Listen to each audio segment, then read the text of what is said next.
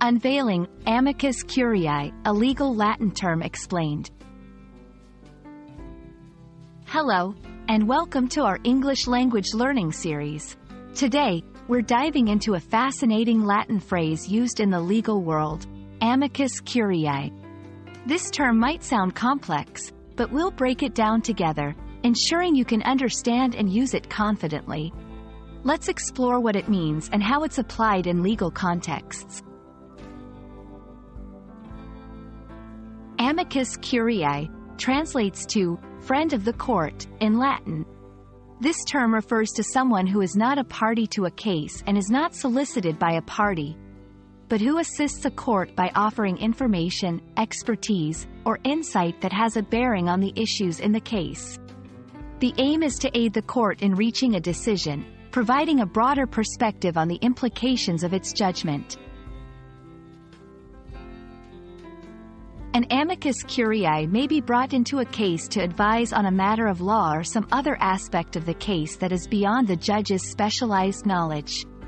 They are most often seen in appellate courts, including the Supreme Court, where they submit amicus briefs. These documents provide arguments or relevant information to the court which the judges may consider in their ruling.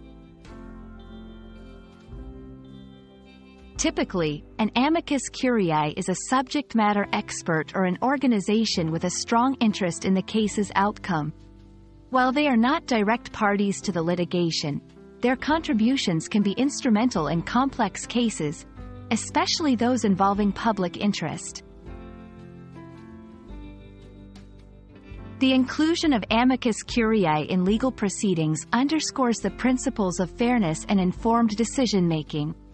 It ensures that the court's verdict is well grounded in a multiplicity of views and is not just limited to the arguments of the immediate parties involved in the case. We hope this video has shed light on the intriguing role of amicus curiae in the judicial system. This friend of the court serves an essential purpose, enriching the legal process with diverse insights. Thank you for joining us, and we look forward to helping you navigate more interesting paths in English language learning.